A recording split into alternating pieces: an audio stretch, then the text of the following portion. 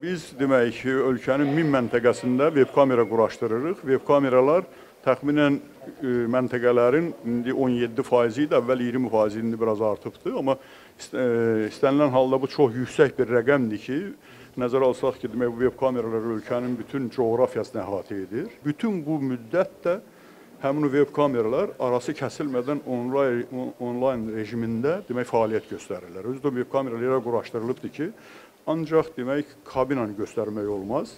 Çünki o biraz vətəndaşın səs vermə hüququna müdaxilə kimi qiymətləndirilə bilər. Ona görə demək o olmaz. Yəni o qanunun tələbinə görə qalan məntəqə daxilində komissiyanın fəaliyyəti hökmən demək e, səs vermə qutular görünməlidir ki, vətəndaş getdi.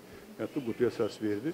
Və bir də müşahidəçilərin də fəaliyyəti daxil olmaqla bütün demək daxildə, məntəqənin daxilində baş verən hadisələrin obyektiv şəkildə izləməyə demək şərait yaratmışıq hazır ölkədə. Özü də bunun ən unikal tərəfi ondan ibarətdir ki, bu veb kameralar vasitəsilə Azərbaycanda səs vermə günü 1000 məntəqədə özü dediyim kimi bütün Azərbaycan coğrafiyasını əhatə edir bu məntəqələr.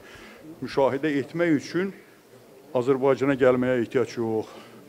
Bizdən icazə almağa ehtiyac yox. Mərkəzi Seçki Komissiyasının veb saytına girməklə dünyanın istənilən nöqtəsindən istənilən insan səhərdən axşama qədər heç bir məhdudiyyətsiz demək bu prosesi izləyə bilər.